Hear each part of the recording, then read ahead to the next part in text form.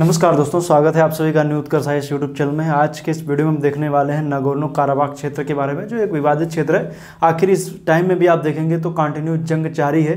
दो देश आमने सामने एक तरफ़ है आर्मेनिया, दूसरी तरफ़ है अजरबैजान। लेकिन ये दो देश आमने सामने क्यों हैं और इनके पीछे कारण क्या है, इसका ऐतिहासिक महत्व के बारे में देखेंगे कि आखिर ये इतिहास में भी ये युद्ध की वजह नागोर्नो काराबाग क्षेत्र क्यों बना हुआ है, उसके बारे में देखेंगे। तो सबसे पहले जब आप मैप में देखेंगे तो आप मैप में कैस्पियन सागर के पास में काला सागर के बीच का जो एरिया आप देखेंगे तो वहाँ पर आपको कई सारे देश देखने को मिलेंगे। तो उन्हीं क्षेत्रों में ये शामिल है, जैसे मैं बात कर रहा हूँ, इस तरफ़ आप देखेंगे तो ये वाला, ये जो मैप मैंने बना रखा है, मैप में आप देखें तो इस तरफ़ आपको देखने को मिलेगा कैस्पियन सागर और जब इस तरफ़ आप देखेंगे तो यहाँ पर आपको दिखेगा ब्लैक सी मतलब काला सागर। तो इन दोनों के बीच की जो एक कह सकते हैं, पट्टी के जैसा है, वहाँ पर देश हैं। देश कौन कौन से एक तरफ़ है अजरबैजान, आर्मेनिया, जॉर्जिया है और रूस का भी कुछ हिस्सा पड़ता है, नीचे की तरफ़ ईरान है और इधर टर्की है। इतने सारे देश वहाँ पर पड़ते हैं। तो मुख्य रूप से जो विवाद की जो कह सकते हैं, वजह है, वो ये दो देश है, एक तरफ़ है आर्मेनिया, एक तरफ़ है अजरबैजान ये दो देश आमने सामने युद्ध के लिए, जिसका क्षेत्र नागोर्नो काराबाग क्षेत्र, ये है विवाद की विषय। अब ये विवाद का कारण क्यों बना हुआ है, इसके बारे में हम चर्चा करेंगे, लेकिन थोड़ा सा मैं अब आए हैं मैप में तो थोड़ा सा इसके आसपास के क्षेत्रों की वाटर बॉडीज वगैरह और इन सब बातों को थोड़ा सा हम देख लेते हैं। जब आप अजरबैजान को देखेंगे तो अजरबैजान की सीमा आप देखें, एक तरफ़ तो कैस्पियन सी है, नीचे की तरफ़ ईरान है, इस तरफ़ आर्मेनिया पड़ता है, जॉर्जिया और रूस है, इससे सीमा लगती है। और जब बात करेंगे आर्मेनिया की तो आर्मेनिया की बात करेंगे तो इसकी सीमा जॉर्जिया से, टर्की से, ईरान से और अजरबैजान से लगती है। ये जो आप हिस्सा देख रहे हैं, ये वाला हिस्सा, ये अजरबैजान, इधर तो पूरा अजरबैजान ही है, ये पूरा हिस्सा अजरबैजान है। और ये वाला हिस्सा भी मतलब आर्मेनिया के इस तरफ़ भी ये वाला हिस्सा थोड़ा सा अजरबैजान ही है। अब इनके बारे में देखना है कि आखिर ये जो ये दोनों देश जो हैं, ये आमने सामने क्यों हैं?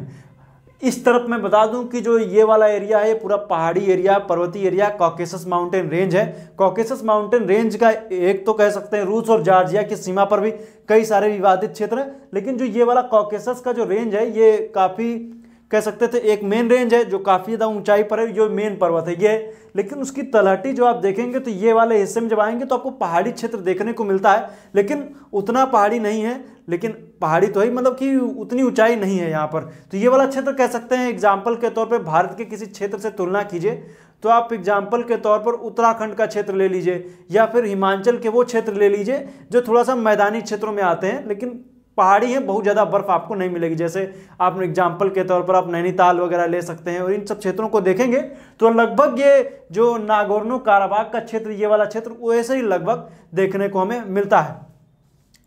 ये पहली बात तो ये दो देशों के बीच में विवाद का जो कारण है, नागोर्नो काराबाग की ऐतिहासिक है। ये आखिर युद्ध की वजह क्या रही है, इसको हम देखेंगे।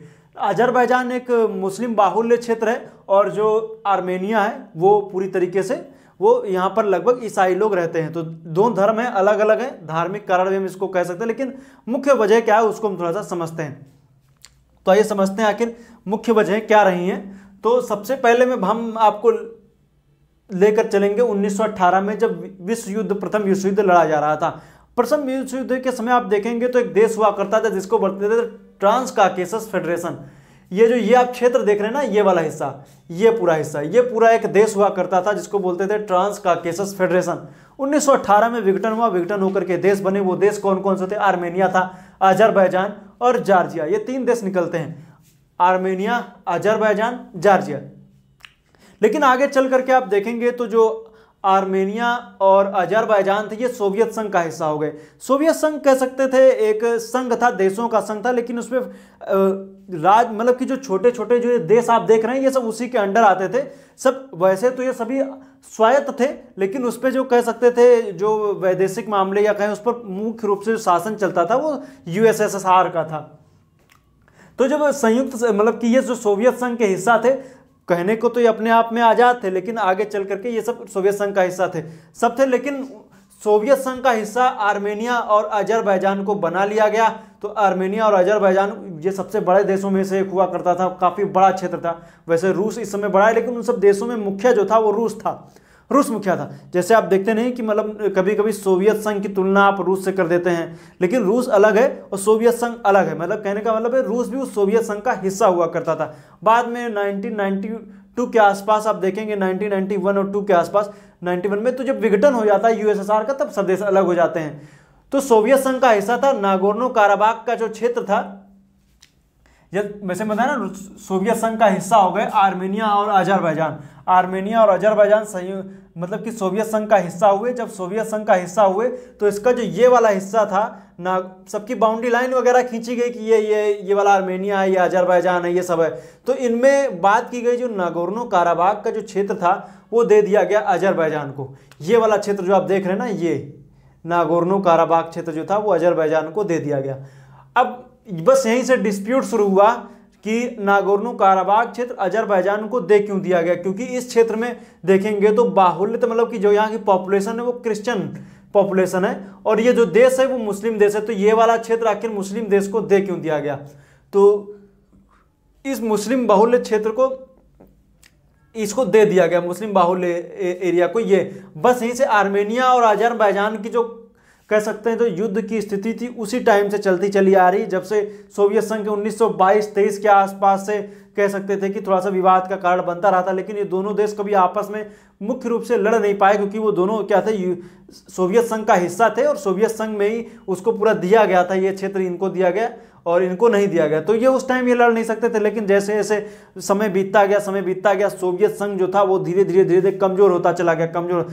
अन्य जो उसकी आंतरिक ताकतें थी, वो छिन्न भिन्न होने लगी, सब अलग अलग देश की तरफ़ टूट मतलब कि ऐसी, ऐसा लगने लगा कि अब सोवियत संघ ज़्यादा टाइम तक नहीं चल सकता है, सभी देशों को आज़ाद करना पड़ेगा। उसी दौर में आप देखेंगे तो एक बात यही आती है कि शुरुआती दौर में देखेंगे तो जब इन दोनों के देशों के बीच में जब विवाद का कारण बना हुआ था, ये ना, नागोर्नो काराबाग तो इसको स्वायत्त क्षेत्र घोषित कर दिया गया, लेकिन स्वायत्तता इसको पूर्ण देश का दर्जा नहीं दिया गया, था अजरबैजान के अंडर ही। लेकिन जब उन्नीस सौ अट्ठासी में यहाँ की जो विधानसभा ने विधानसभा ने एक प्रस्ताव पारित किया और बोला कि हम आर्मेनिया की तरफ़ जाना चाहते हैं, आर्मेनिया की तरफ़। तो जब आर्मेनिया की तरफ़ जाना चाहते हैं तो बस यहीं से विवाद का कारण बन गया। अजरबैजान को ये लगा कि जो यहाँ पर अलगाववादी, क्योंकि यहाँ पर कई सारे अलगाववादी संगठन जो है, वो जंग करते रहते हैं। तो इस वजह से अजरबैजान को लगता है कि आर्मेनिया जो है, वही यहाँ पर अलगाववाद फैला रहा है। तो इसको लेकर के जब उन्नीस सौ इक्यानबे में विघटन हुआ आर्मेन मतलब कि जब ये सब सोवियत संघ का जब विघटन उन्नीस सौ इक्यानवे में जब हो जाता है, तब विघटन के पश्चात क्या होता है कि सब देश अलग हो जाते हैं। उनमें अजरबैजान अलग, आर्मेनिया अलग, जार्जिया अलग, सब देश क्या होते हैं, सब अलग अलग देश, बेलारूस हो गया, यूक्रेन हो गया, ये सब देश क्या होते हैं, सब अलग अलग देश हो जाते हैं। बस यहीं पर स्थिति ये बनती है कि जब नागोर्नो काराबाग क्षेत्र अपने आप को स्वतंत्र घोषित कर देता है कि हम स्वतंत्र हैं, लेकिन स्वतंत्रता कोई देश मानने को तैयार नहीं था। बस यहीं पर युद्ध हुआ। दो मतलब कि उन्नीस इक्यानबे में सोवियत संघ का विघटन हुआ। उसी बा, उसी में क्या किया गया? नागोर्नो काराबाग स्वतंत्र घोषित किया गया। लेकिन स्वतंत्र घोषित तो किया गया, लेकिन इसकी स्वतंत्रता किसी ने मानी नहीं। जब किसी ने इसकी स्वतंत्रता मानी नहीं तो ये फिर आगे चल करके फिर उन्नीस सौ बानवे में आर्मेनिया और अजरबैजान के बीच में युद्ध होने लगा, क्योंकि ये जो था आधिकारिक रूप से अजरबैजान का ही हिस्सा था और आर्मेनिया इसमें दखल दे रहा था। उन्नीस सौ बानवे से चौरानवे के बीच में युद्ध की स्थिति बनती है। युद्ध की स्थिति में बात यही आती है कि युद्ध विराम की बात आई, रूस ने दखल दिया। जो जिसके पास है वो ले ले, वहीं पर क्या हुआ, युद्ध विराम की स्थिति बन गई, जैसे जम्मू कश्मीर में है। तो यहाँ पर आर्मेनिया मतलब कि जो ये क्षेत्र था इस पर आर्मेनिया ने अधिकार कर लिया। कुछ क्षेत्र जो थे, अभी अजरबैजान के पास थे, लेकिन लगभग क्षेत्रों में आर्मेनिया ने अधिकार कर लिया।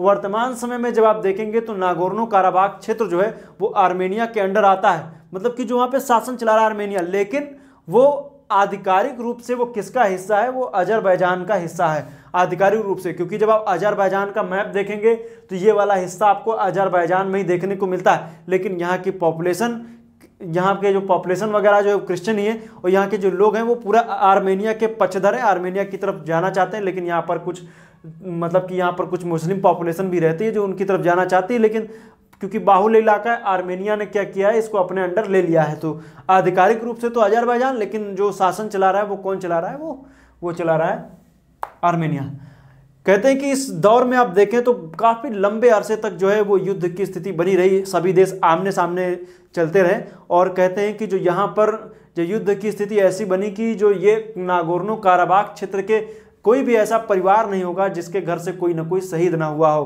तो यहाँ पर युद्ध की स्थिति बनती है। अजरबैजान वर्सेज आर्मेनिया कंटिन्यू लंबे अरसे से ये दोनों देश आमने सामने चले आ रहे हैं। हालिया में अभी आप देखेंगे तो कुछ इस इस रविवार के टाइम में आप देखेंगे तो यहाँ पर कुछ आर्मेनिया ने बोला कि हमने अजरबैजान ने पहले फायरिंग की, अजरबैजान का कहा कि उन्होंने किया। दोनों के बीच में युद्ध की स्थिति बनी, फायरिंग हुई, किसी के हेलीकॉप्टर गिराए गए, कुछ टैंकर ध्वस्त किए गए, ये स्थिति बनी, कुछ लोग मारे भी गए।